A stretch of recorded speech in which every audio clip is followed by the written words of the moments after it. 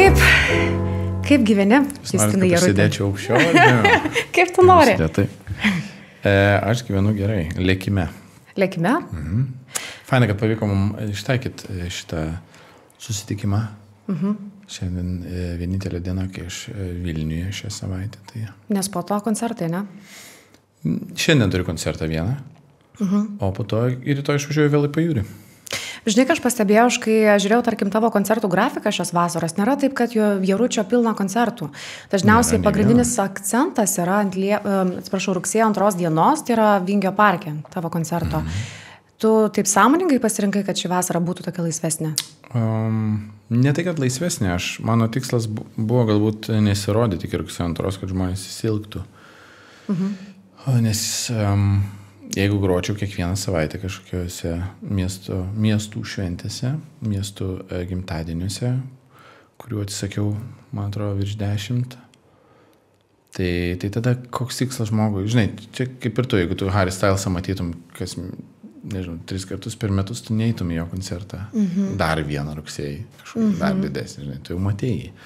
Tai mes Lietuvoje ta rinka yra tokia maža ir aš manau, kad mažiau yra geriau tuo, tuo atžvilgiu, kad e, žmonėm reikia kažkiek, kad jie pasilgtų. Bet klausyk, tau sunku yra atsisakyti, nes e, kalbant ne, ne tik apie tai, kad yra, mm, tu nori, kad žmonės tave vėl pasilgtų, ne, bet yra galų gale pinigai, galų gale kaip ir bebūtų. Tai jo, Tai pinigai, tai aišku, bet tau? e, nežinau, kaž, kažkaip e, dėl atrodo didesnio kažkokio tikslo tai darau, tai kai yra tikslas. Jeigu aš šiaip atsisakinėčiau koncertų, tai aišku, kad būtų labai labai skaudu. To aš nedaryčiau. Bet e, jeigu, jeigu taip kažkaip būtų, jeigu aš neturėčiau tikslo, kurį aš turiu dabar, e, tada būtų sunku, bet kai turiu, tai aš kažkaip taip būna mes atsisakom, ar man skambina, ar, ar kolegiai. Mhm. Ir, e, ir viskas, ir užmiršti, žinai. Pala, teisingai suprantu, kad tavo tikslas dabar artimiausias yra būtent rugsėjo antrą dieną Vingio parkas, ne? Išlikti gyvam iki tol. Aha. Sveikam, e, išmokti grot e, dainas, pasiruošti viską ir tada jo ir koncertas. Bet e, aš skaičiau tavo Instagram postę, tu labai daug e, dalinė savo muzikinę veiklą, naujienom mhm. ir panašiai, kad tai yra didžiausias tavo karjeros koncertas. Kodėl būtent Vingio parke, kodėl didžiausias? Aš tikiuosi, kad jis bus didžiausias. Tai, uh, nu, nežinau, čia, žinai, toks um, Vingio parkas, mano nuomonė, yra mum Lietuvos, kuriem atlikėjim, tai yra tas toks, žinai, kaip a, Britam turbūt yra Vemblio stadionas ar tai Slane Castle mhm. Airijoje, tai, tai aš manau, kad Vingio parkas yra mūsų atžvilgių e, ta, tas, žinai, ta scena, ta vieta, kur, kur įvyksta jau tas didžiausias karjeros mm, renginys turbūt, galima taip sakyti, nes, žinai, aš augau ant to, kad aš žinau, kad foje buvo paskutinis koncertas ten ir man visą laiką stovi mhm. nuo pat vaikystės, kiek aš atsimenu, kai pamačiau ten kažkur per televiziją kažką. E, aš atsimenu, kiek ten žmonių buvo, kad tai buvo Vingio parke ir, ir, ir žinai, nuo tada, kai pradėjau groti e, muziką, e, man atrodė, kad čia yra ta vieta, kur aš norėčiau e, tokia svarbiausia gal, vadinkim. Visi Aha. koncertai yra svarbus, aš sakyčiau, bet aš manau, kad ta vieta iš esmės yra, kiekvienas muzikantas turi savo tokį spotą, žinai, kuris norėtų e, kažką didelio padaryti. O kiek tų metų, kiek laiko galvoji apie Vingio parką ir kada pradėjo ta mintis jau gimti realiai? Nežinai, turim svajonę galbūt ir kada jau supratai, kad, blemba, Justinai, varom. E, praeitą vasarą. Mhm. Mes kažkaip, e, kai buvom Moneskin, ar Maneskin, nežinau, čia kaip pasako, e, Moneskin, kai buvo atvykę į Lietuvą ir mums pasiūlė su grupė apšildyti, e, būti vieniem iš tų suporto e, grupių. Ir kažkaip grojo ir buvo labai labai faina ir kažkaip ta mintis nepaleido, kad atrodo visai faina, norėčiau, kad ateitų žmonės. Nes, žinai, buvo jausmas, um, toks geras, kad, žinai, daug kas sakė, kam reikėjo tų The Waxins, nes jie maždaug nukilino visą, visą jausmą. Mhm. Gal tai buvo ir netgi ir gerai prieš, e, prieš pagrindinį atlikėją, bet, mhm. bet daug kas sakė, žiauri fainai buvo ir, ir kad mūsų pačių pasirodymas su grupė buvo labai labai smagus. Tai, tai man toks gera labai emocija buvo ir galvoju, hmm, gal reikėtų. O ko- kodėl ne dabar, žinai, nes neįsivaizduoju, kada dar. Dabar nesu tikras, ar po metų norėčiau tai daryti. Kodėl? Aš manau, tai, tai yra pakankamai sudėtinga ir tai ambicingas tikslas yra mm, įrengti koncertą, žinai, tokioje vietoje, nes ta vieta, man rodos, um, talpina, kad taip dabar matytų ir mhm. vis kita. Nu, per Amstein buvo, man atrodo, 45 kažkiek tūkstančiai. Tai žinai, tai, tai tiek žmonių surinkti visų pirma jau atrodo atsakomybė. Mhm. E, čia nėra, žinai, kaip žalgerio arena, kurią tu gali pasimoderuoti, modifikuoti jo per pusę, trauk, trauk, trauk. O čia tu realiai jau turi e, bandyti, žinai, surinkti. Čia nėra sold outas, nu, galbūt Ramšteinai ten Imagine mhm. Dragons, aš nemanau, kad lietuviai, galbūt daug dievė, e, nemanau, kad vietiniams e, atlikėjams taip lengva būtų tiesiog paimti ir išparduoti, mhm. nes tai yra nežmoniškas kiekis. O kiek žalgerio arena, pažiūrėjau, talpina? Nežinau, ten. Jeigu pilna, pažiūrėjau, paimti. 15, 17 gal kažkas tokio. Čia porą kartų daugiau jo. ir dar plus. Nu, o, o kiek, pavyzdžiui, tarkim, žmonių dirba, žinai, taigi nėra vienas Justinas Jarutis, tarkim, nori padaryti koncertą Vingio parke, kokios komandos reikia to? Um, gan didelės, turbūt, matai, aš vienas pats nedarau, aš žinau, kad aš nenoriu daryti to vienas, nors mhm. šiaip visus koncertus aš darau su, realiai, aš ir dar pora žmonių, kurie organizuojame, dėliojam viską. Aš mhm. toks esu one man band, tai Bet dabar dirba daug. Dabar jau dirba, žinai, taip net ne, neišskaidant jau yra gal virš dešimt žmonių, kurie, kurie sėdi ir vis mhm. kažką daro. Žinai, esu aš, yra mano, mano e, dešinioji ranka Veronika, tada yra Renata, kuri už production atsakinga, tada yra Davidas Alius ir taip toliau, tai plečiasi visi už kažką. Tada mes turim, žinai, Buinauskas dirba, kad scenografija būtų gražiai ir šviesos, kažkas už garsą. Nu, čia tokio, tokio masto jau renginys, tai čia jau nebejokai. Ne, čia didžiulė. Areną padaryti, sakyčiau, yra lengva. Aš areną galiu padaryti vienas su, dar, su pagalba šiek tiek. Tai mes taip ir darydom, mes realiai dviese darydom, aš ir, ir mano kolegė Renata. Ir, ir kažkaip, žinai, tai nesak, nereiškia, kad aš pastačiau šviesas ir visą kitą, bet taip. Nu, suderint, suorganizuoti viską. Mhm užtekdavo mūsų dviejų, bet Vingio parkas jau yra, jau yra nejaukai. O klausyk, nėra taip, kad kai tu nusprendai iš tikrųjų organizuoti koncertą Vingio parke, kad nuo tos dienos realiai kiekvieną dieną gyveni su kažkokiu nerimu, baimėm, nes yra, nu, tai yra big. Nežinau, dabar matas mano pėdas?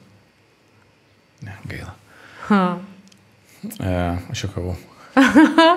e, aš turiu, nerimo yra, nerimo yra, jaudulio yra, nežinau. E, kiekviena diena atneša kažką naujo. Bet yra. Vis, vis galvoju. Jo, žinai, žinai, kodėl aš klausiu? Dėl to, kad e, labai lengva iš šono žiūrėti, tarkim, į tave ir sakyti, nu tai blemba, Justinas Jarutis kojas gali besijaudinti ir panašiai. Prasme, turėtų mm -hmm. būti pasitikėti save šimtų procentų ir man atrodo, kad įdomu, kaip tu iš tikrųjų jauties. Ar tai yra baimė, yra nepasitikėjimo, ar surinksiu, ar man pavyks, ar aš padarysiu, ar ateis kažkas.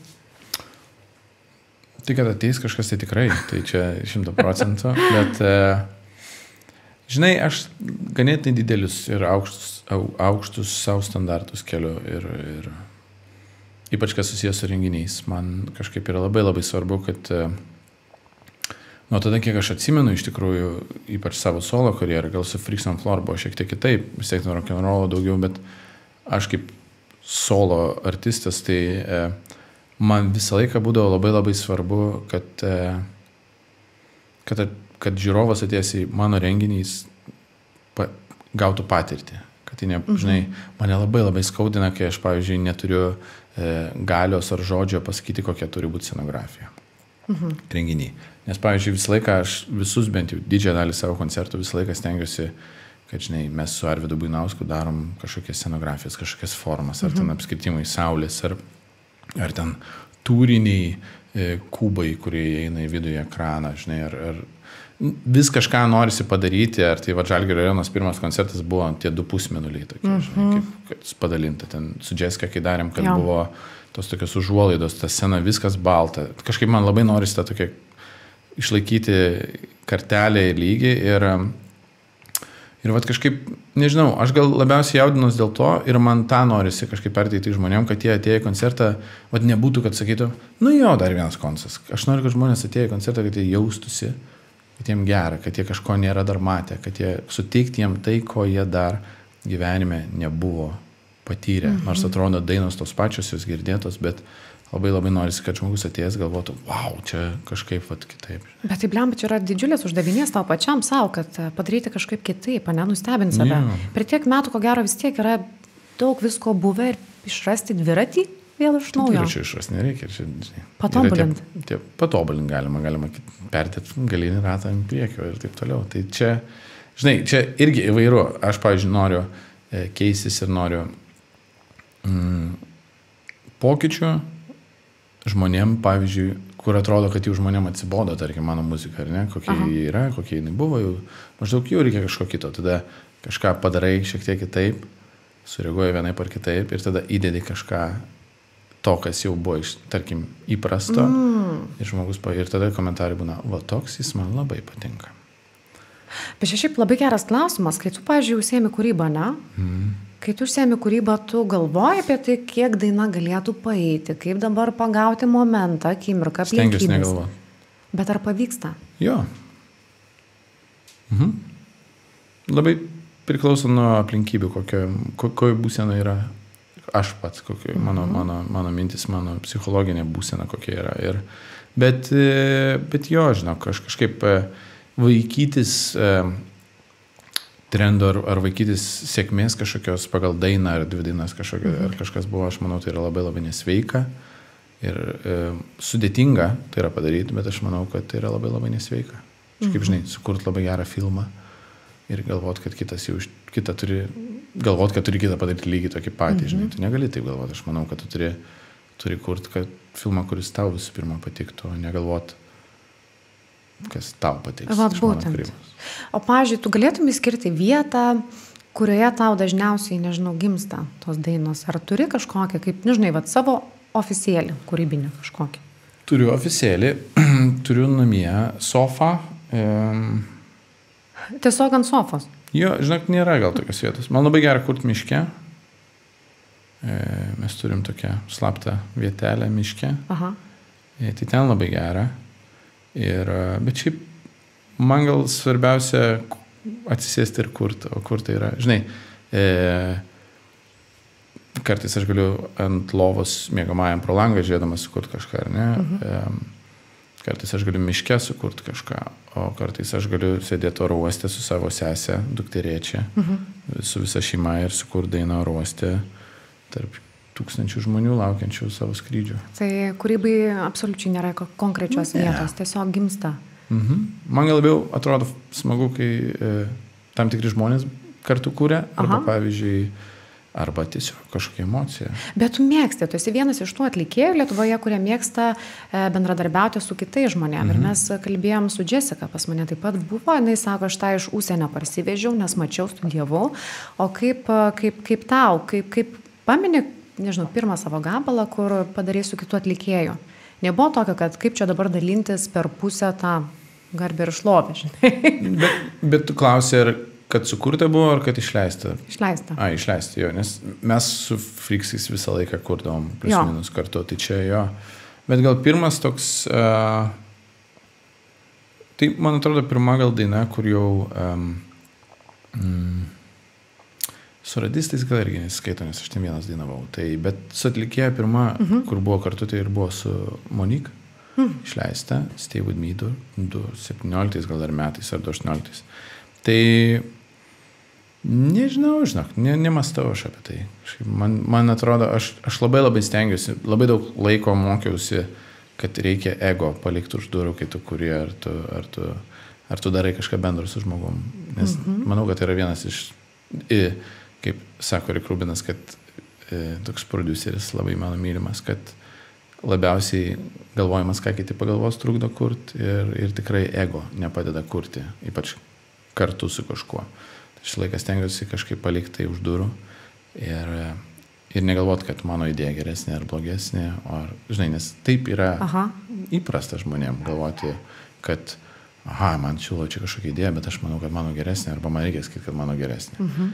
Tai, o kai tai palieki ir atsipalaiduoji ir atsiveri pilnai kūrybai ir, ir kolaboravimui su žmogum, tai viskas gerai. Nėra buvę kažkaip tokio. Jo, šiaip žinai, vat, pastebėjau, kodėl pas tave to ego nėra vienas iš pavyzdžių, kai mes kalbėjom kartu Jo, daug žmonių. Lietuvoje Jaručiu yra dirbę kartu, tai paskutinį kartą Gabrielė Vilkitskytė pas mane mhm. buvo. Ir man labai, aš jos paklausiau, sakau, kas tau padėjo kelyje, nepriklausomos atlikėjas kelią ir panašiai, ir jinai paminėjo tave kaip Jeronimo vieną pagrindinį žmogų iš tikrųjų, tai, tame kelyje kaip mentorių. Mm. Ir galvoju, kaip, kodėl, atrodo, kam reikėtų, turi savo reikalų, tu turi savo darbų, kas tai yra misija, noras padėti, gaidinti per tą kelią, kurį pats praėjai. Kaip tau tai? Manau, kad Gabrielė nėra vienintelė, man šiaip patinka. Uh jeigu manęs paklausė, man patinka pasidalinti savo kažkokią patirtimį. E, o dalintis, aš manau, kad man patinka labiausiai todėl, kad mums niekas nesakė, kaip mes pradėjom. Nebuvo nieko absoliučiai. Buvo, žinai, e, buvo tik tai sakymas, kad tu gali arba negali, arba tu tik tai nuok, arba tik tai grok, nes abu dalykus blogai yra daryti, tau nepavyksta. E, nieks, nieks iš esmės mūsų nemokino daryti iš to verslą, niekas mm. nemokino būti muzikos verslininkais, vadinkim, ir, ir iš to daryti kaip savo amatą.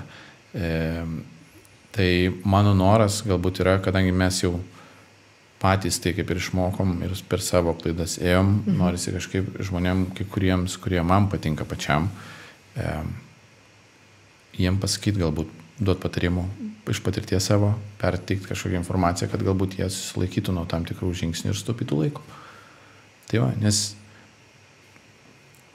nežinau, man, man tiesiog žmonės, man patinka žmonės, kurie nori dirbti, kurie nori užsidirbti, kurie nori kurti, kurie nori sugalvoti, kurie nori, žinai, yra ambicingi ir nori pasiekti kažko gyvenime. Tai mhm. ir kai aš pamatau, kad tas žmogus to nori, man kažkaip, uh, ir jeigu dar faina bendrauti su juo šiaip, mhm. tai jeigu yra kažkokių klausimų ar vietų, kur aš galiu padėti, ir jeigu manęs paklausia, aš mielai tai ir... Mhm. Šitą informaciją, žinai, jinai yra visur, visame kame, jos tiesiog nieks, niekam taip... Uh, pradedant eiti muzikiniu keliu, nepasako. Žinok, buvo labai gera girdėti, nes aš paklausiau, ar iš moterų kažkas, tarkim, atlikėjai padeda tai. ir panašiai mentoriauja, paminėjo tave, perots dar vid dabar reikia, man labai faina. Aš šiaip e, žinau, kad tas kelias tavo muzikinis labai ilgas ir platus, tu Kaip tau sekės būti savimi, kai tu patekai į tą pramogų pasaulį, tą platų, kur visi žino, kas yra Frikson Flo, po to Justinas Jarutis kaip solo, mhm. ar tu visada jautėjai savimi, ar būdavo momentų, kad nueini kokį vakarėlį, su kažkuo reikia pabendrauti ir tu galvoji, man labai patinka kurti muziką, jas kleis, bet čia būti aš nenoriu. Tai man nepatinka, aš neinu į vakarėlius. tai aš manau, aš visiškai esu... Uh, ne, man tiesiog Nepatinka į vakarėlius. Aš nesu gyvenime, man atrodo, sutikęs, kai kas nors siūlo ateiti renginį kažkokį. Ar dar kažkur už pinigus, pavyzdžiui. Yra tokia praktika pasirodo, ar ne? Taip. Um, tiesiog aš toks žmogus, žinok, man nelabai įdomu. Man patinka dėmesys. Man patinka, žinai, jeigu man nepatiktų dėmesys, aš nedaryčiau to, ką aš darau. Man patinka. Bet e, iš esmės man dar labiau patinka tiesiog būti su savim savo žmonėms, savo mintim, o ne, o ne bandyti vaidinti kažką, ko, ko aš nesu. Aš tikrai, e, aš manau, aš esu geras žmogus, e, iš esmės, bet man nereikia to įrodinėti einant ir šyps, besišypsant ir, ir būnant su visais mal, maloniam. Aš ten, kur aš einu, aš būnu malonus, kur man įdomu mhm. ir kur, e, kur man patinka Bet, bet jo, tai atsakant į tavo klausimą, uh mhm. -huh. kai man pavyksta išlaikyti, aš tiesiog aš ne, nebandau išlaikyti, aš tiesiog esu ir, ir, ir nežadu keistis. O dabar norėčiau atkreipti visų mano podcastą žiūrinčių moterų dėmesį. Tai tikrai žinau, kad kartais norime imtis naujos veiklos, bet vis kažkas mus pastamdo. Kartais per mažai pasitikime savimi, o kartais tiesiog sunku imtis kažko dėl vyraujančių stereotipų, kad, pavyzdžiui, viena ar kita veikla yra tiesiog nemoteriška. Tai labai norėčiau jūs paskatinti atsikratyti šių stereotipų ir netgi turiu ypatingą pasiūlymą. Tad jeigu tau patinka vairuoti, nori papildomų pajamų arba naujos veiklos, būtinai išgirs, ką siūlo Bolt. Tačiau pirmiausia įdomioji statistika, kuri nustebino netgi mane pačią. Tai iš tikrųjų norėdami įsiaiškinti veiksnius, kurie trukdo daugeliu moterų rinktis būtent šią profesiją, vairuotojo profesiją, Bolt šių metų kovo mėnesį atliko apklausą, kurioje dalyvavo 2000 moterų iš Europos ir Afrikos, kurios niekada nėra dirbusios vairuotojomis. Tai įsivaizduokite, net 93 procentai apklaustųjų pripažino, kad ieškojo naujų būdų, kaip gauti daugiau pajamų. Tačiau tik 7,2 procentai moterų galvoja, jog vairavimas yra tinkamas būdas užsidirbti. Na, o viena svarbiausių priežasčių, kodėl moteris nesvarsto galimybės tapti vairuotomis, yra ta, kad ši profesija vis dar laikoma vyriška. 25 procentai dalyvių teigia, kad neketino tapti vairuotomis būtent dėl savo lyties ir egzistuojančių stereotipų. Tad kviečiu nepaisinti šių stereotipų stereotipų ir išbandyti bol kaip naują karjeros kryptį arba papildomų pajamų šaltinį vairuojant. Ir iš tikrųjų esu parengus jums ypatingą pasiūlymą. Tai užsiregistruokite kaip Bolt vairuotoja su rekomendaciniu kodu Zitskutė kalbina. Per pirmą savaitę nuo paskiros patvirtinimo užbaikite 15 kelionių ir garantuotai gausite 150 eurų premiją prie vairuotojo pajamų. Šis pasiūlymas galioja iki rūpiučio 31 dienos. Tai mano ką tik minėtas pasiūlymas yra Bolt kampanijos Moteris veža dalis, kurio tikslas yra keisti šiandienos pasaulio nebetitinkančius įsitikinimus ir suteikti motivacijos drąsiai imtis naujų veiklų. Tad moteris labai skatinus vairuoti, užsidirbti papildomų pajamų ir pakeisti mano ką tik minėtą statistiką, juk mes tikrai galime viską. O pastebi dažnai tą momentą, kad žmonės bendraudami pasikeičia ar kažkaip kitaip bendrauja dėl to, kad tu esi Justinas Jarutis. Būna. Būna, tu labai jauti to žmonės. Mm, pakankamai. O, o, o kaip tu vat reaguoji? Tu nori su tai žmonėm bendrauti, tau įdomu, ar tu tiesiog sakai, sorry? Dažniau, ne, dažniausiai nėra, žinai, e, kaip ten kažkas pasakytų, kad tai naudos nori iš manęs. Kažkoks, aš taip e, nesakyčiau, kad aš daug tokių žmonių sutinku savo gyvenime. Man atrodo, aš turiu tokį gan atstuminti veidą. Pikto veido. Mes su, su, su mano draugė Urte kalbėjom apie tai, kad sakom, sakom, ar mes esam malonus iš šono žmonės, atrodys, ar tie, kur nenori prieiti. Tai aš manau, esu tas antrasis ir nežinau, žinok, kažkaip. Klausyk, kalbant, pažiūrėjau, apie dėmesį, ne, tu sakai, labai patinka dėmesys. Aš suprantu, kai tu dainuoji, kai atlieki tai, kas tave džiugina, bet, mhm. pažiūrėjau, dėmesys, tarkim, einant gatve. Tikrai man labai įdomu, ar tu gali pažiūrėti atsipalaidavęs Gedmino prospektų ir negalvot, kad žmonės į tave žiūri. Ar tu vis tiek tokia... Šiek tiek lengvai... sunku. Nu vad, jauti tokia įtampa, kad... Plenva. Ne, įtampos tai aš nejaučiu. Čia yra mano miestas. Aš manau, kad čia yra mano miestas. Vilnius yra mano namai. Ir, ir aš manau, iš esmės Lietuva yra palanki e, viešiems asmenims. Jo. Mes turim labai gerą e, pavadinkim e, gyvenimo lygį, lyginant su UK ar bet kokia kitam šalim ir jų atlikėjais, mhm. su Amerika, nedaug dievė. Tai dėmesį aš jaučiu, žvilgsnius aš jaučiu kažkiek, stengiuosi apie juos negalvoti ir, žinai, aš nežadu ten uždėti kaukės ir kažkaip tai gatvėmis, kad tik tai kažkas kažką netai pagalvotų ar dar kažkas. Aš gyvenu savo gyvenimą ir tiek, o, o žmonės kaip jie į tai reaguoja, čia jau jų reikalas, žinai. Bet kituose pastebi. miestuose. Jo, jo, bet. Pastebė, ne, bet. Kituose miestuose yra sudėtingiau. O kaip? Tai nežinau, Klaipėda kokio ar, ar Kaune, Palangoje, pavyzdžiui, yra. A. Yra jau šiek tiek, šiek tiek daugiau įtampos. O tai kaip žmonės, prieina prie tavęs, ar, ar kaip, iš kur tai įtampa? Nežinau, yra buvo, pavyzdžiui, labai jokingas e, momentas, e, praeitais metais mes su grupė grojame jūros šventėje. Ja. Ir taip gavosi kažkaip, kad mes negalėjom automobilio pastatyti prie scenos. Tai aš pastačiau prie viešbučio, kuris buvo ten senamestį ir aš turėjau visą tą kelią eiti. Ir nebuvo ten nei apsaugos, nieko. Aš tiesiog vienas ėjau. Ir aš kažkurio momentu supratau, kad man reikia pasimti telefoną ir pradėti e, imituoti, kad aš jo kalbu. Ar aš skambinau, kažkam aš neatsimenu. Nes e, Bet ir tai nesustabdė kažkokios mamos, kas, man, kas mano nuomonė jau yra šiek tiek jau žmonės, ribų nejaučia, e, bet aš kažkaip moku su tuo susidylint, kad tiesiog aš pralenkiau mamą jauną su keturiais ar trimis vaikais, mažamečiais. Ir aš tiesiog ėjau ir aš jau pradedu girdžiu, kaip jį šaukė mano vardą, pavardę tiksliau. Ir, ir, ir tiesiog jį pradėjo mane vytis ir sakyti atsiprašau, atsiprašau ir aš kalbu telefonu, Nes Ale kalbė telefonu. ir, ir kalbu telefonu ir, ir, ir sako, galima nuotraukos, sakau, nežinau, kad aš telefonu sakau, bet tai gal galima, tu gyveni, keturi vaikai ir bėga ir tempia tos vaikus. Ir man atrodo, kodėl jūs taip darot. Tai va, tai būna tokių keistų momentų, bet aš kažkaip, e, aš žinojau savo karjeros pradžioje, kiek man reikia padirbėti, mhm. o padirbėti aš turiu menį fotkinimaisi, ten šipsojimais ir visa kita. Ir dabar aš kažkaip jau žinau, kada turi būti riba. Nes ribą žmonės mėgsta per, peržengti. Mhm. Žinai, ten šventi dukros gimtadienį kažkokiam batutų parke ir, ir išeidinėjai su vaiku ant rankų ir, ir, ir prie tavęs bėga ten su savo vaikais kažkas fotkintis. Mhm. Tai tiesiog e, kaip ir bet kuriam kitam darbė, bet kokioje kitoje profesijoje yra ribos. Tu kažkada dirbi, kažkada nedirbi. Mhm. Tai aš tiesiog supratau, kad aš turiu užbriežtą ribą. O nejauti kalties po to, kad, pažiūrėjau, ne. atsisakai nusifotografuoti ir po to eini galvoji, blema, bet mano klausytojas galbūt fanas ir... Turi dabar... būti supratingas. Aš noriu, kad mano klausytojas būtų supratingas. Tai tikrai yra buvę, kur žmogus kažkokio kebabiniai naktį Kaune prašo nuotraukos ir aš atsisakau ir pradeda sakyti, kas čia per Ir, bet aš nežadu kreipti, ne, nežadu galvoti apie tokius žmonės, nes jie būna arba neadekvatus kartais, arba Aha. jie tiesiog nesupranta, bet čia jau nebe mano bėda, kad tu nesupranti.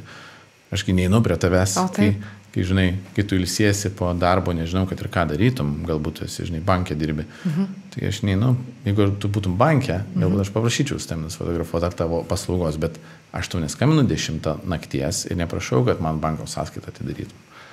Tai, žinai, tai žmonės kartais to nesupranta, bet, bet aš manau, čia yra tas, e, ir tu pati turėtum tai jaus, kad yra tas fenomenas, kad kai žmogus žmogų mato mhm. per ekraną mhm. kažkokį, kažkokią formą, jam jis atrodo pažįstamas.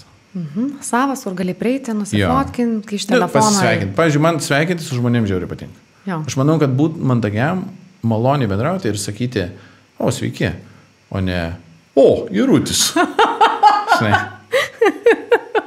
Ir man įdomu, ką žmonės tada galvoja, kaip aš turiu reaguoti. O, kaip faina. Nes tokių būna tikrai. Ir, ir ypatingai, nu, tikrai, tikrai yra buvę. Pats sėkingiausias dalykas, čia pasakojau, man atrodo, Aha.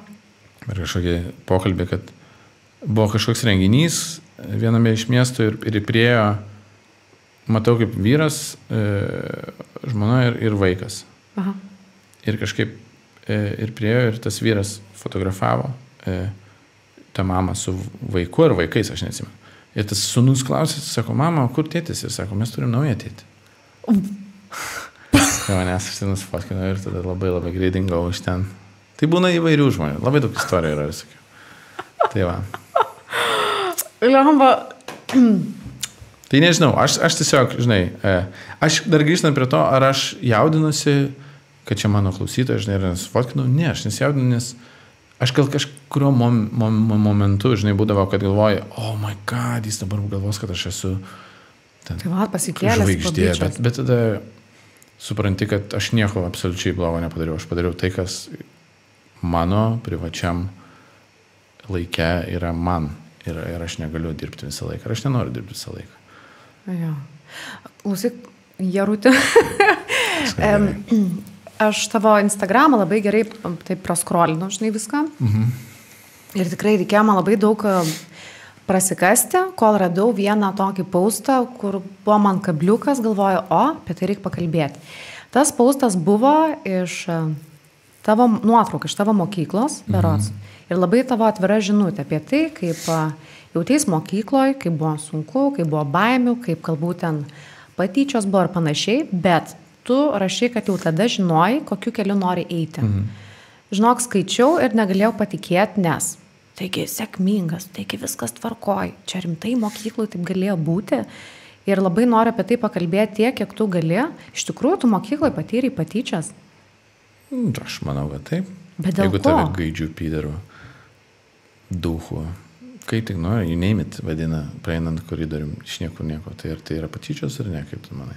Manau, kad taip, bet galvoju, ar tai gali būti dėl to, kad tu gal nuo vaikystės buvai labai kūrybingas, kitoks bičias, kuris galbūt savo pasaulį gyveno ir tai buvo pretekstas kažkaip iš tavęs tyčiotis. Ne, aš tiesiog, žinai, tai buvo pakankamai galbūt... Um, net kai kam gal atrodo keista, nežinai, mano šeima, mokytojų šeima, ten tėtis, ten e, Kupiškio, ten seninijoje, ten meras, vicemeras kažkurio momentu, seniūnas ten ir taip toliau. Ir žinai, kaip ir atrodo, turėtų viskas būti gerai, bet aš kažkaip niekada savęs su tėvais ar kažkuo ne, nedengiau, žinai, ar, ar pavardę. Ir, O kodėl tai būdavo, aš neįsivaizduoju, žinai. Tai, tai natūraliai, aš turėjau ilgesnius plaukus, galbūt ten iki čia kažkurio ten 2004 metų periodo, kai tai nebebuvo, kaip banglų laikas mhm. buvo ties. Nedaug mūsų tam kupiškėje buvo tokių menininkų, vadinkim. Žinai, bet kažkurio momentu vat, prasidėjo tai, nes aš šiaip visą savo vaikystę paauglystę žaidžiau krepšinį. Mm. Tai aš buvau kaip ir komandos narys, žinai, aš kaip ir buvau pagal amerikietiškus filmus ale turėčiau būti, žinai, populiarus ir taip toliau, ko aš nebuvau. Aš buvau visą laiką toks į save, mes turėjom savo kažkokią kebrą ir, ir tiesiog rodavom, darydavom ir tai galbūt kažkam nepatiko. Ir, ir, ir žinai, ir tas gal dalykas labiausiai, ką iššūkdė, ir aš manau, kad tai blogiausias dalykas, iššūkdė tokį gėdos jausmą dainuot, pavyzdžiui, arba gėdos jausmą būti, tai nežinau, muzikavimui ar, ar artistiškumui, nes labai tave, žinai, jeigu tu kažką vaidini ir kažkas sako ten iš publikos, ten per kokią aktų salį, per pasirodymą, mm. Duhas ar kažką, nu, ten, žinai, bet ką.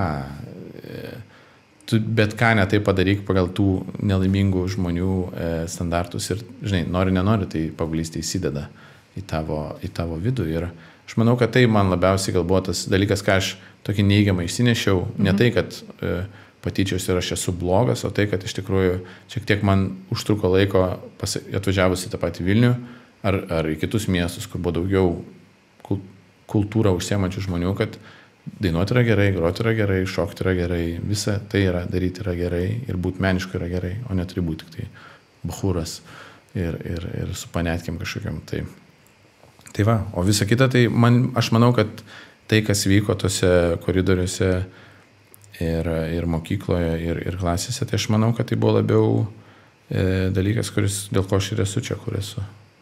Jo, o jo aš manau, kad aš, aš manau, kad aš skūrą užsiauginau. Jau ten, mokykloje. Jo, jo.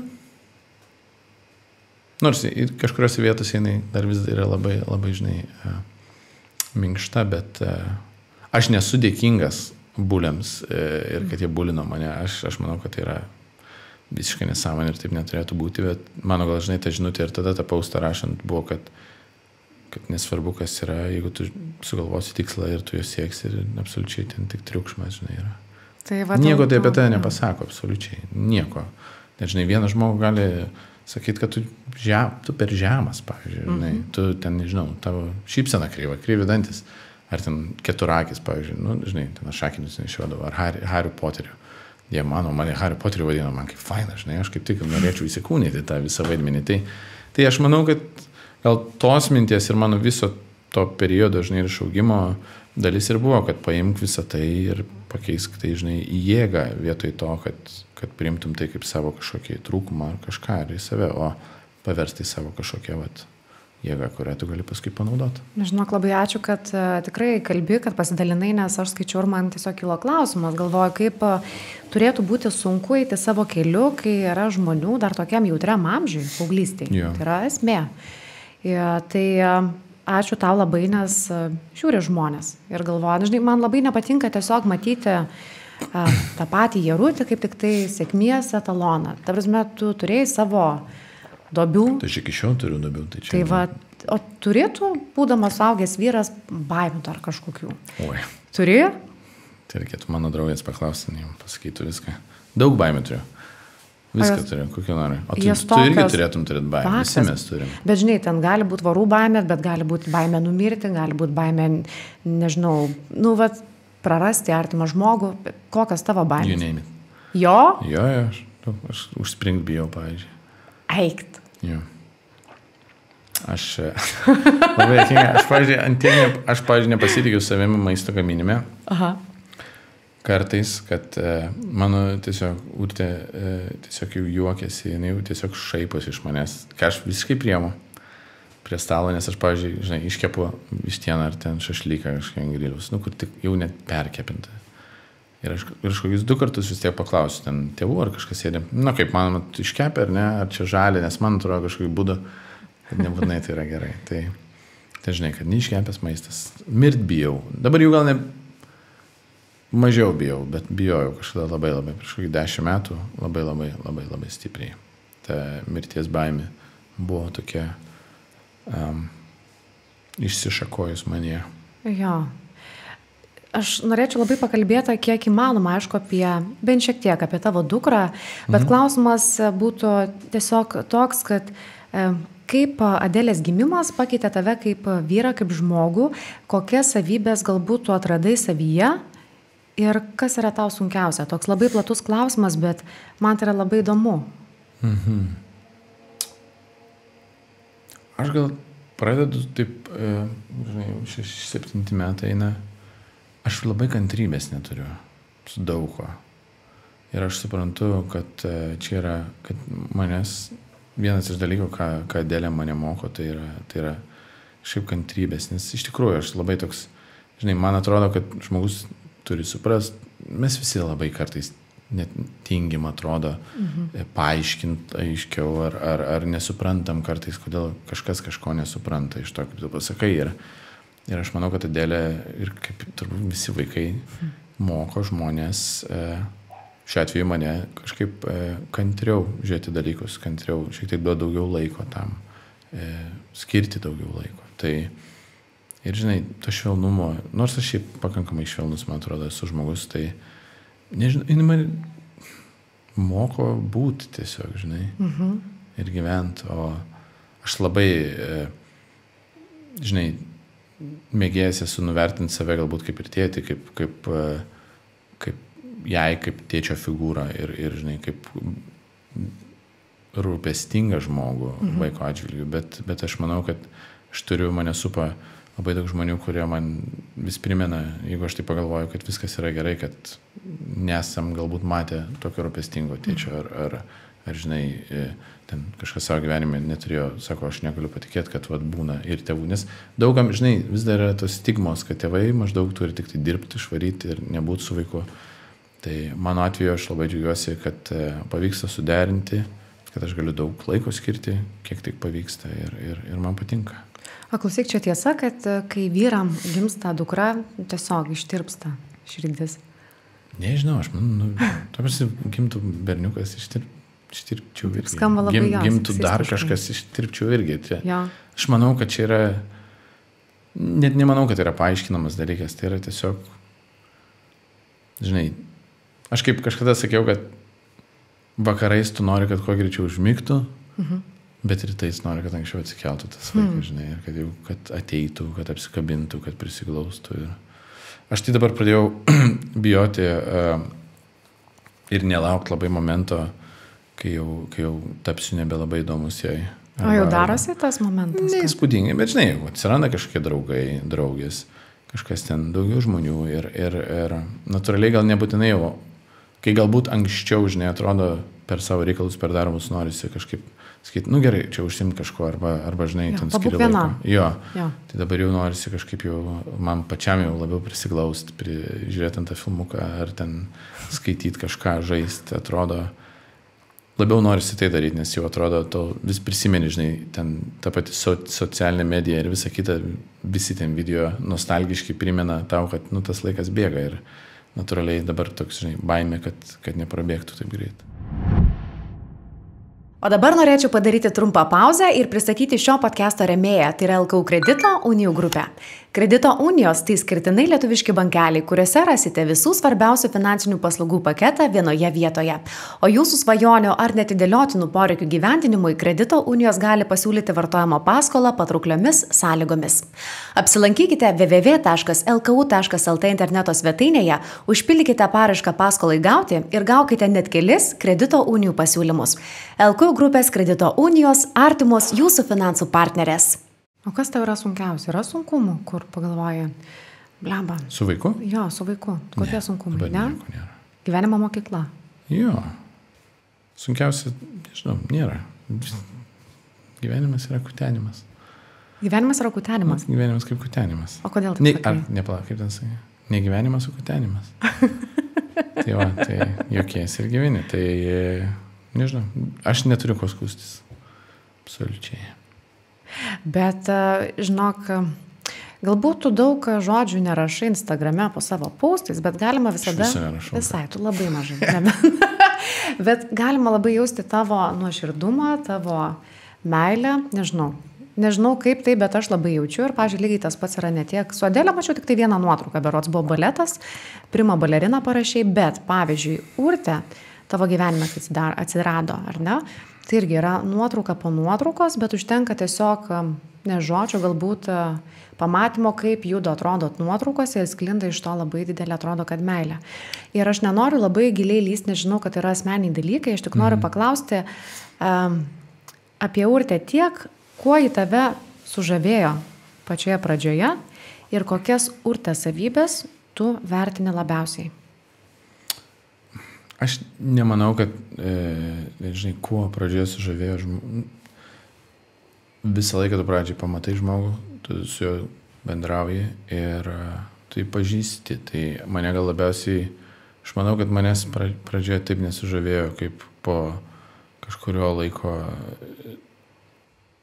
kai aš pažinau ją kaip mm. žmogų. Tai aš manau, jis labai geras žmogus yra. Aš, aš manau, tai jį iš esmės yra gera, gera moteris, geras žmogus ir asmenybė. Tai aš manau, kad tai labiausiai tai vertinu ir labai labai rūpestinga. Ir tą aš labai labai jaučiu. Ir, ir žinai, aš manau, kad mūsų visų kažkoks noras būnant santykė, santykė ne tai, kad tik tai mylėti, bet jaustis, kad tu mylimasis ir kad, kad tavim nori rūpintis, kad e, aš manau, kad vyrui šiaip norisi jausti šitą, nežinau, mhm. žinai, aš galiu kalbėti už save, bet iš esmės man, man to rūpeščio, meilės, prisilietimo labai labai norisi ir, ir aš visą tai šimtų procentų iš to žmogaus galiu gauti. Tai aš manau, mhm. kad apart dar milijonų kitų dalykų, aš, aš uh, vertinu tai, kad, kad aš tikrai, tikrai jaučiuosi, kad mane myli. Ar tau svarbu, kad, urte dalyvautų koncertuose, tokiuose esminėse? Aš ją labai traukiu daug kur, į, net kartais turbūt jau per daug į savo veiklą, bet e, man patinka, kad jai patinka, ją, ją domina. Žinai, mūsų pasaulyje labai skirtingi, jos yra, jos pasaulis yra medicina Taip. ir, ir natūraliai aš labai stengiuosi daug pasimti iš jos pasaulio. Mhm. Per, žinai, aš visą laiką klausiu, kaip jai sekėsi darbe, aš klausiu, man kas man prieš keletą metų ar iš viso gyvenime ten, žinai, matyti išpjauto krūties naviko nuotrauką kibirė, galbūt atrodytų, kad tai yra blogiausias dalykas pasaulyje, bet kai man tai parodo jį ir papasako, kas čia yra, kodėl taip įvyko, arba kodėl taip, žinai, ten, kai skaito, mokosi, žiūri, tai tai, tai tampa kažkaip mane į savo darbų ir, ir edukuoja ir tuo pačiu man mažina baimių ir suvokimo, kad kūnas yra nuostabus dalykas, kad žmogaus organizmas iš esmės yra stebuklas ir kad reikia mylėti, kad mes jo turim rūpintis, kaip tą ir tą paaiškinti, žinai, kur ten pabaigoje galbūt negali įkvėpti oro atrodo ir tada tau sako, tu tiesiog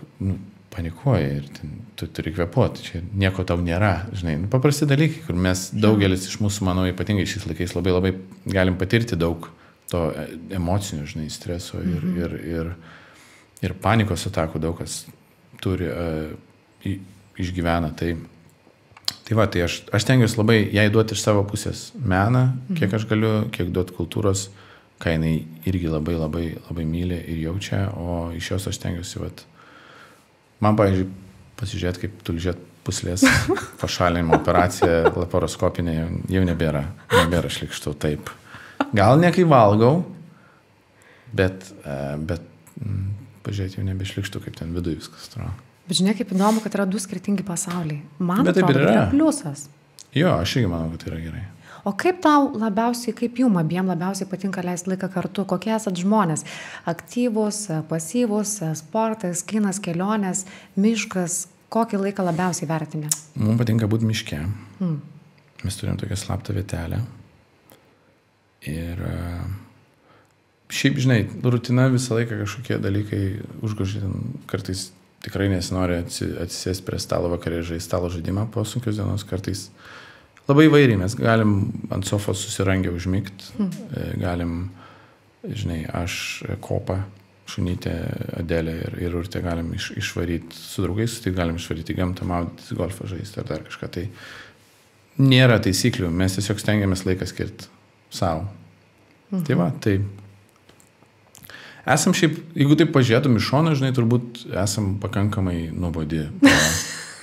Tai aš sakyčiau, kad gal mums patinka būti namie. Kažkaip yra, yra dienų, kai norisi kažkur lėkti kažką daryti. Aš esu gal labiau toksai, kur man norisi lėkti, žinai, kartais. Bet, e, bet šiaip tai mes būnam namie, mums gerai tiesiog namie laiko leisti. Aš dabar stengiuosi išsugdyti naują įprotį e, prie griliaus e, stovėti vasarą miške ir, ir bandyti visokių, žinai. Vakar net prieš užmygdamas žiūrėjau, kaip reikia ten lašišą iškeps. Ko niekada gyvenime negalvojau, kad darysiu. Tai va. Mes labai, sakytum, neįdomų žmonės esam būtyje, bet mhm. to pačiu aš manau, kad tai, e, žinant jos darbą ir jos atsakomybės darbę, mhm. ir žinant mano darbą ir kiek aš esu uh, obsessed su tuo, ką aš darau, tai kažkaip padeda ta ramybė ir ta, ta, tas paprastumas vakarais, kartais rytais e, išlaikyti tą, tokia, žinai, mhm. sein išlikti. E. Įsižeminti, žinai, toks jo. viens kitam kaip uostas ramus, puikiai suprantu, apie ką tu kalbė. Klausyk, ne, ne, nepažįstu tavęs taip, kad galėčiau užčiuopti kažkokį tavo gyvenimo momentą, bet, pavyzdžiui, jeigu imtumėm kokius penkerius metus tavo pastarų gyvenimo metų, e, kokiom vidiniam, tarkim, transformacijom tu labiausiai džiaugiesi. Nu, kartais tai gali būti paprasti dalykai. Pagaliau išmokau pasakyti ant žmogui ne. Darbam ne. Dar kažkam nutraukti santykius, kurie nepatinka. Buvo pas tave kažkokių va tokių pokyčių? Nežinau, žinok. E, penki ar ar dešimt metų. Labai skirtingi, aš labai daug virsmų. Tiek, e, žinai, vienas virsmas buvo, kad iš grupės perėjo viskas į solo karjerą, tai vis tiek yra darbo prasme, mhm. E, žinai, santykiai, gyvenimas pasisuko viena ir kita linkme. Tai e,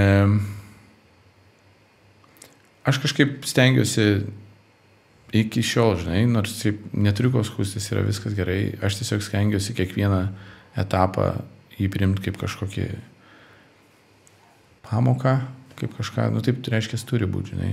Aš mhm. tiesiog kažkaip emociškai esu buvęs ir labai, ir prieš 10, ir prieš 15 metų, ir labai blogose dobėse esu buvęs, ir, ir, ir, ir labai aukštam kažkokiam, žinai, emociniam lygmenį. Bet e, gal labiausiai aš dabar man norisi, atrodo, per visą tą laiką, ką aš išmokau ir ką bandau daryti, aš mhm. bandau balansą išlaikyti kad nenueiti į vieną ar kitą pusę, nes vid tą vidurį labai šis laikais sudėtinga padaryti. Arba būni visą laiką, žinai, darbę, arba, tada, arba būni visiškai toj apatijoje kažkam. Dažnai aš esu buvęs ir ten, ir ten. O dabar, vat, gyvenu, atrodo, laimingiausia. Kažkokį viduje esu laimingas, nes manau, kad e, gal pripažįstu, kas esu, žinai. Dar irgi yra toks dalykas man. Mhm. Nežinau, kiek tai e, mhm aiškiai sakosi, bet, e, bet jo, kažkaip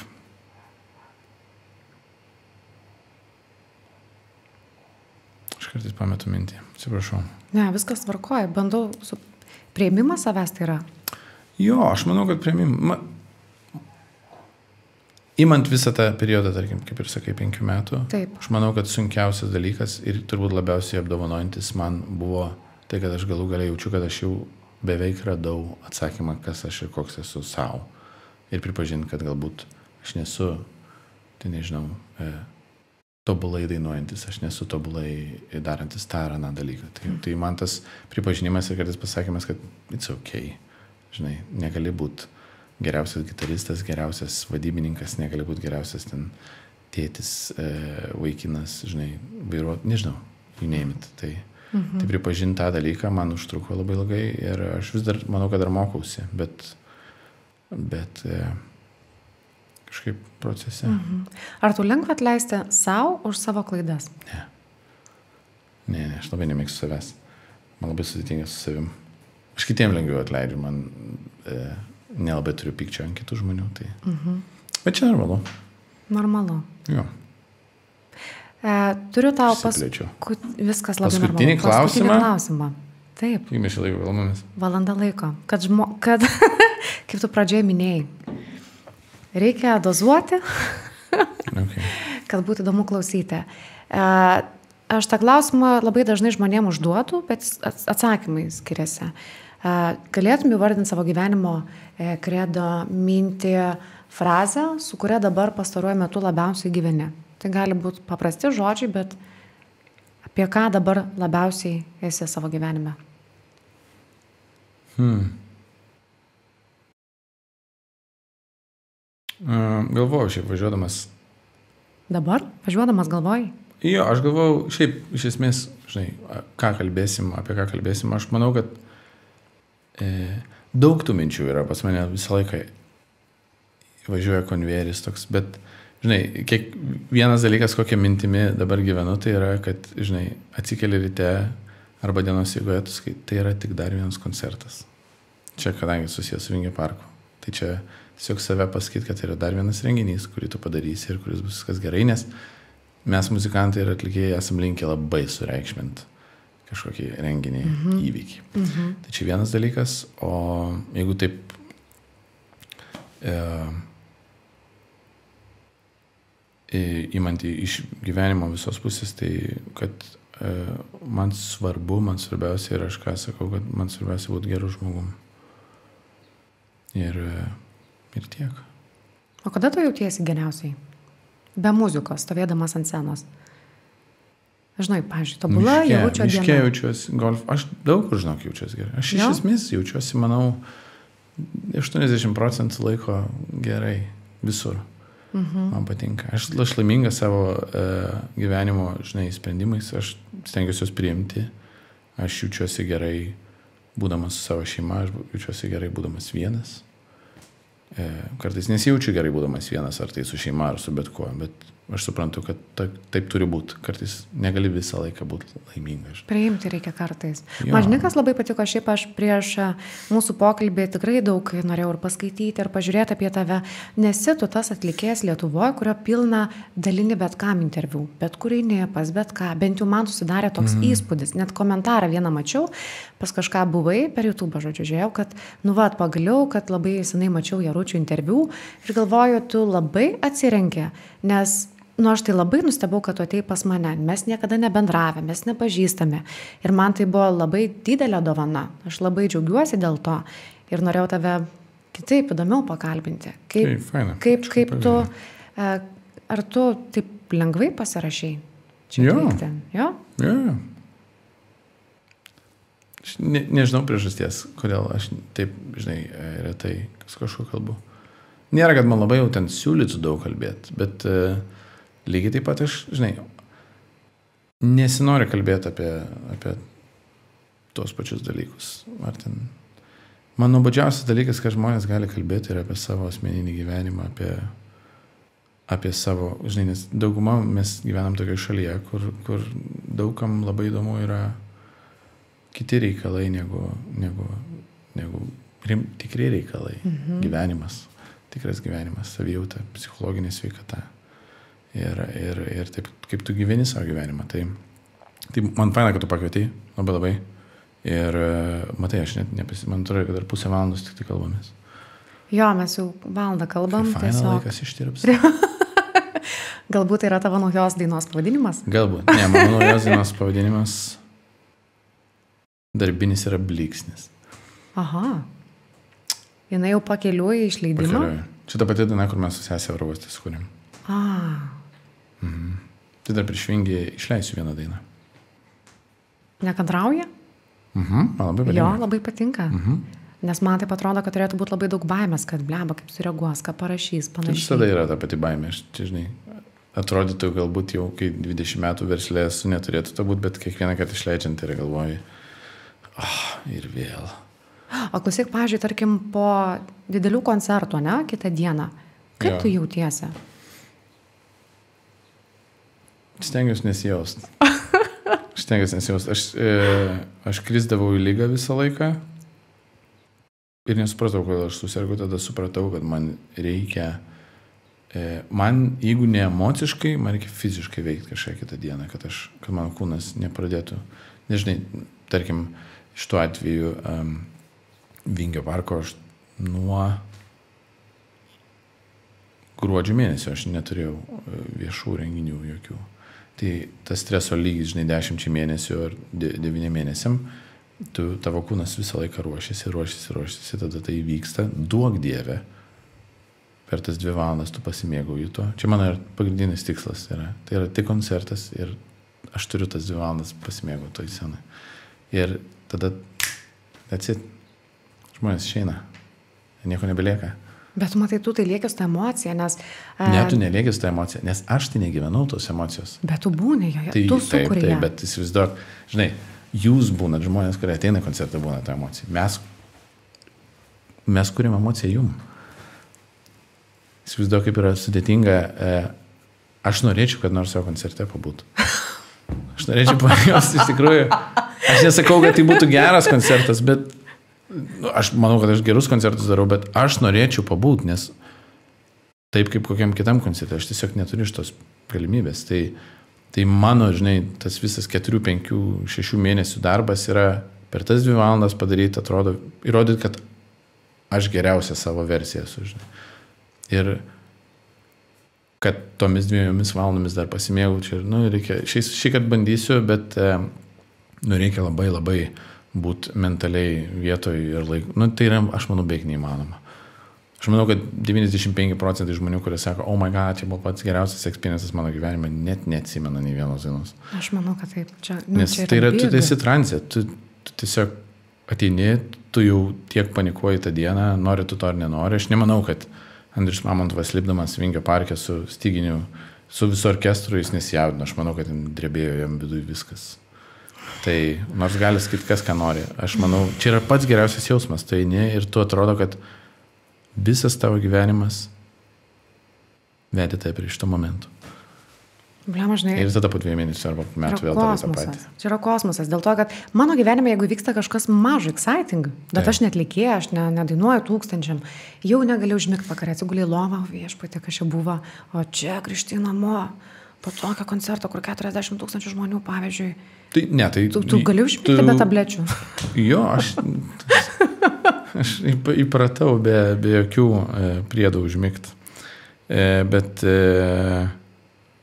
ne, kažkaip tu be abejonės tau verda viskas viduje. Adrenalinas Labai, labai, jo, tiesiog. tai turi labai labai daug. Tai tiesiog mano tas dalykas, žinai, po koncerto, aš kitą dieną stengiuosi bet kažką veikti. Pavyzdžiui, važiuoti golfo žaisti, jeigu nėra šalta. Kažką fiziško būti su draugais, kalbėti apie koncertą, dar kažką, bet tiesiog nebūti lovoje ir negulėti, nes tarsi kūnui reikia polisio, bet aš žinau, kad mano organizmas man pasakys, ok, dabar jau viskas, įtampos nebėra, mes galim pradėti sirgti. Nes, na, dėl žinai, to. yra tas dalykas. Tai aš, mano, aš stengiuosi kitą dieną tiesiog, e, nežinau, po rugsėjo antros, turbūt, e, jeigu niekur neišskrysiu tą naktį, Aha. tai kitą rytą nuvažiuosiu į golfo klubą ir ar žaisiu gal turnyrą savo golfo klubo, aš nežinau. Matai, tiesiog mintis kitur perkelt. O pažiūrėk, turiu va dar klausimą. Jeigu po koncerto arba po dainos, tarkim, tau parašo, pavazė, tarkim, dešimt žmonių, nuostabi daina. Ir parašo vienas žmogus, lievas gabalas. Tai jisai lievas žmogus, pats lieviausias žmogus, aš taip parašau. Nice. Ne, ne, ne. E, aš nebegalvoju tai.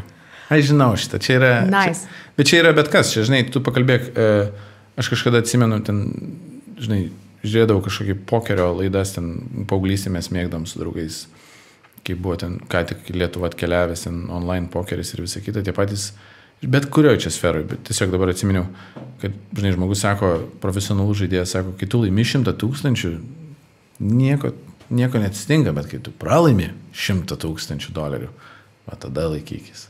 Tai aš manau, yra toks gen, generalus dalykas viso mhm. pasaulio, kad geri dalykai, jie tavęs neveikia, Ko- komplimentai tiek neveikia, kiek pasakymas, kad tu kažkas, kažko nepakankamas esi. Normalu. Ir tai nesvarbu, kiek metų būtum toje srityje, vis tiek tu esi žmogus ir tave veikia tokie dalykai. Jie gal, mane, nežinau, neveikia, aš daug neskaitau, aš skaitau dėl savo malonumo, iš tikrųjų man jokinga. Sakau, nes, pavyzdžiui, išleidau dainą tamsoje, kuri e, tikrai buvo ten komentarų, kad čia per nesąmonę ir tada išėjo liūdna daina vidury vasaros, nes spalvotų vaizdo lyrik klipų ir sako, va tai yra to, ką mes norime matyti. Tai labai faina. Labai. Aš džiaugiuosi, man patinka. Žmonės yra skirtingi. Klausyk, dabar jau tikrai turiu paskutinį klausimą. Prieš Ar tu... galimai. Jo, Aš per kontą sakau, su galimai paskutinę Su dainą. tavim sunku. Klausyk, Klausk. ar tu, kaip tu manai, ar tu jau esi išleidęs savo dainų dainą, tą, žinai, savo pačiam, ar jinai dar bus ateityje? Nežinau. Nežinau. žinau. kartais, kai išleidi vieną labai stiprią savo, atrodo, kad jau išleidai, bet tada sukuri kitą tokią pat stiprią arba dar stipresnę. Tai, tai nežinau. Sakyčiau, kad dar neišleidau. Okay. Aš nemanau, kad aš kad nors būsiu patenkintas savo iki galo kūrybą, tai viskas. Nusiblema tau kažkas sako, žmonių komentarai, po dainom, Nieko. Spotify, YouTube, perklausos, tu esi vienas norimiausių, geidžiamiausių, a, nežinau, atlikėjų tiek Lietuvoje, tiek privačiose renginiuose, visi svajo apie Jarutį vestuvėse. Tu, Aš viską priemu, aš labai tai vertinu, ir, bet žinai, mes kiekvienas turime kažkokią, man atrodo, dalelę savyje, kurios iki galo negalim pripažinti arba negalim būti patenkinti, kurią reikia vis, žinai, išlifuoti kaip kažkokį, nežinau, e, brangakmenį, nešlifuotą, nežinau, kristalą, dar kažką, kur tu, žinai, deimantą, kurį tu nori tobulai padaryti. Tik tai vad klausimas yra, kada, kada tu suprasi, kad kuo daugiau droši, mhm. tada gali jau nebelikti iš viso nieko. ja. Tai, va. tai aš einu to linkme, kad aš jau, aš savo, kaip ir sakiau, pripažinti savo toks, koks esu, tai aš taip pat galiu pripažinti, kad it's ok, kad aš nepatenkintas savo didžiąją dalim e, darbų. E, Aš patenkintas kažkuria kita dalim. Ir aš tai pripažįstu ir žinai. O kai tu pripažįsti, žymiai paprasčiau tada priimti fainus dalykus. Dar kartelį visiems primink, kur ir kada Rugsėjo antrą dieną. Vingio parke. Mažas parkas Vilniui, šalia Vilniaus. Senamičio. Tai va. Bet jo, aš manau, kad jam bus faina. Tikrai bus faina. E, Man tikrai bus faina. Žmonėm manau, kad irgi bus faina. Bus scenografija. E, nu, čia žodžiu, nežadėsiu. Wow. Ne, bet tikrai bus scenografija, kokios nėra buvę pasaulyje. Tai bent jau man sakė. Taip sakė. tau. Arvidas Buinauskas man taip sakė. Nu, čia yra jau kosmosas, kaip mes laukiam. Tai pažiūrėsim. Būkinkit, rugsėjo antrą dieną. Būkinkit, važiuojam. Būkinkit, važiuojam. Justinai. Ačiū Jums, kad tau. pasikvietėte. Jau Labai malonu. labai malonu buvo. Tikrai nerealiai. Ačiū tau, kad atvykai. Tikiuosi. Mano kuklų kambariuką. Ne, ačiū, kad neužmygote per mano ilgus atsakymus. Gerai, aš dabar užduosiu patį geriausią klausimą hostui.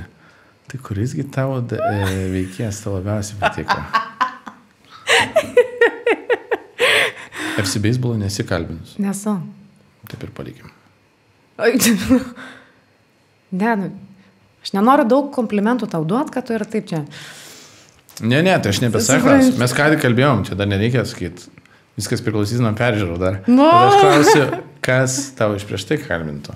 Ai, Tai galėsi nedėti, taigi jūs skatinate. Aš negaliu, nes nors žmogus atėjo pas mane atsisėdo, klausė, ar aš gerai atrodau, klausė, ko tu, komplimentų nori dar daugiau. Ne, ne, aš ne apie save, aš apie be Na manęs. nu, taip, be tavęs. Žinok, aš galiu pasakyti tik tai vieną dalyką, ką aš supratau. E, būna pokalbis su žmogum ir atrodo, kad yra pats geriausias, ateina kitas žmogus, tu manai, kad yra pats geriausias. Ir dabar supratau tą dalyką, kad aš visiškai nepažįstu žmonių iš soc medijos pasirodo, kad ką matai, netgi tie patys straipsniai, portalai kažkokie, nesąmonė. Kai ateina čia žmogus, aš jį pamatau visiškai kitokį. Ir man tai yra, žinok, pati didžiausia dovana. Nes, pavyzdžiui, ką tu šiandien kalbėjai, daug to nie, niekur nebuvau girdėjusi. Mm.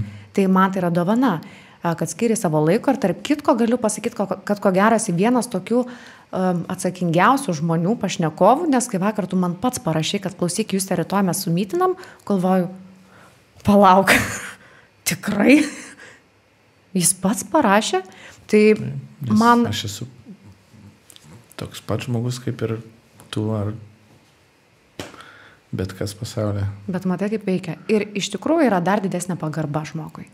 Aš nežinau, čia dėl to nereikia gerbti. Reikia ką daryti, tai visą laiką, kai važiuojat, arba einat, arba užeinat į parduotuvę ir jeigu pamatot, kad nors žmogui jie gražus, aš, pažiūrėjau, visą laiką geriu nagus. Moterų. Visą laiką reikia pagirti, aš manau, kad reikia visą laiką pagirti žmonės, kurie dirba sunku, mažai dėmesio gaunantį darbą. Tai va, tai tą daryk visą laiką. Ir pajaus, kad dar bus gerai. Ir tu taip daryk. Nežinau. Jis neįsivaizduoja, tai tai ir čia yra stebuklas. Tam, pavyzdžiui, man labai patinka kalbinti į neringą, kai važiuoju kasoje moteris. Kalbinė. Mhm. Oi. Visą laiką, ar tai vyrai, ar moteris, bet, žinai, moteriam, vyra, nežinau, taip, netaip lengva surasti, ką pagirti moteris, jeigu, pavyzdžiui, mėgsta, e, kaip vadinasi, manikiūrą. Manikiūra, taip. Manikiūrą, ten gėlinė visą tą, Nu, taip, prancūziškas, ten su tais, wow. Ten taip pagiria ir tik taip matai, kaip žmogui nušvinta diena, tai labai labai faina. Nu, wow. Nu, žinai, nemėgstu to žodžio, bet nu, toks tobulutis atėjo čia Nu, pas ne, mus ne, ne. jarutis. Šitą nedėsim. Gerai, viskas, važiuojam į tavo koncertą. Važiuojam. Važiuojam. Uhu! Ačiū. Viskas? Dar gali padainuoti. Ne. Fuck no. Ak, ne.